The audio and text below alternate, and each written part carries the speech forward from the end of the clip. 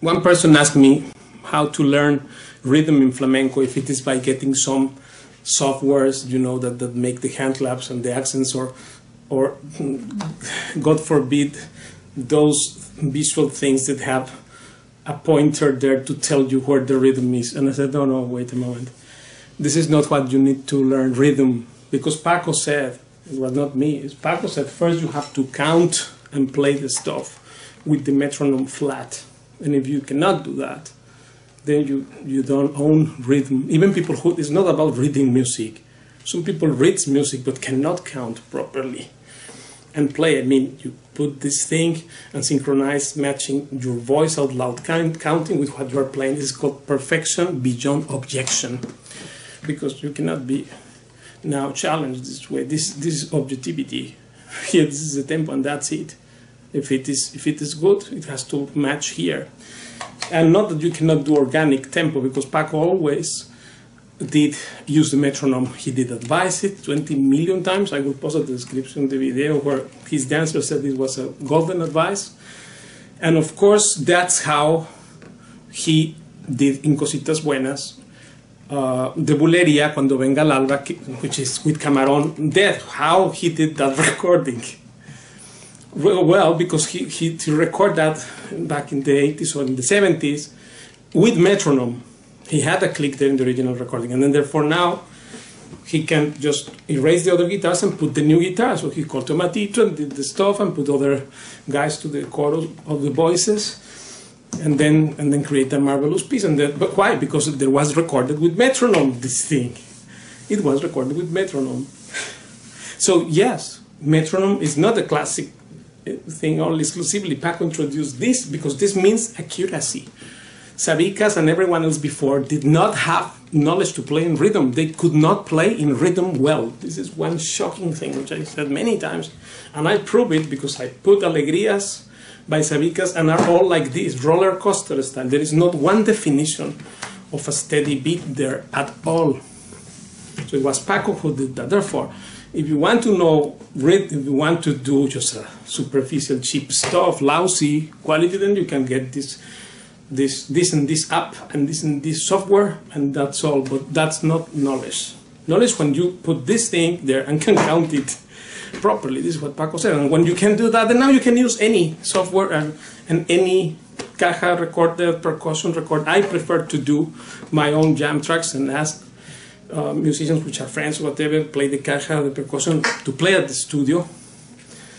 And because I do have some jam tracks with, with, with cajon, with the caja, to, to, to practice standard pieces, etc. And of course, those I give only for the students, for the students which are in Skype there. If you join the lessons, you can also get access to those. But that also will not make you learn rhythm. Re learn rhythm, you have to learn it you. And how? because not what. What is one thing, but how you will learn it, you need to follow a precise method.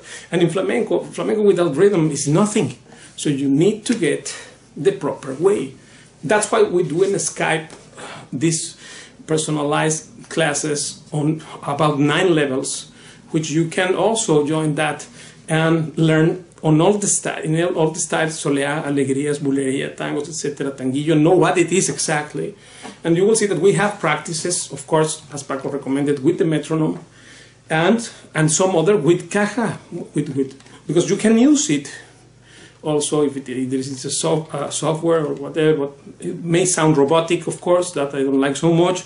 I prefer live recordings. If I ask a guy to play the caja there, and, and, I record that, then I can use it because I, I, record also with metronome those things. So everything has to be centered on this guy here. This is a friend. First, it seems an enemy. We don't like his presence.